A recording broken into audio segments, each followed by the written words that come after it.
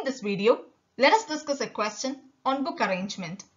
A librarian is arranging a 13-volume encyclopedia on the shelf from left to right in the following order of volume numbers.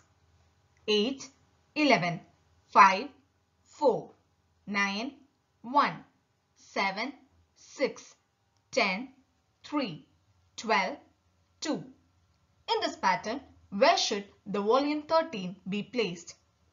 Options A. Leftmost B. Rightmost C. Between 10 and 3 D.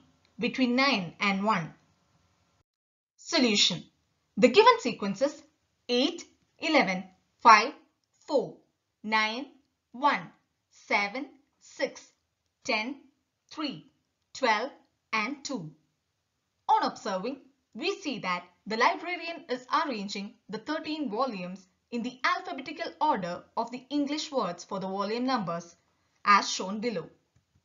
That is, as per the order in dictionary. Thus, volume 13 should be placed between 10 and 3 as shown below. The right answer to the question is option C. Hope you all like this video. For more videos and update on the upcoming free classes, you can be part of a WhatsApp group and Telegram group. To be part of the WhatsApp group, you can just text to this number and to be part of the Telegram group and Telegram channel, you can just search Christy's classes in Telegram. In the Telegram group, daily live free quizzes happen at 9 pm on general aptitude. You can be part of that quiz also.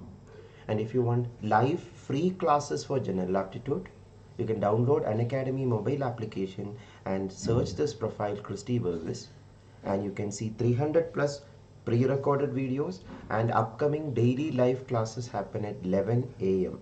Monday to Friday 11 a.m. free classes happen in this profile so you're welcome to attend this free classes also and more YouTube video details are given here and these are the details of the full courses or the paid courses in Unacademy platform which you can get by taking Unacademy plus subscription with the referral code cc10 hope to see you in the upcoming video. Thank you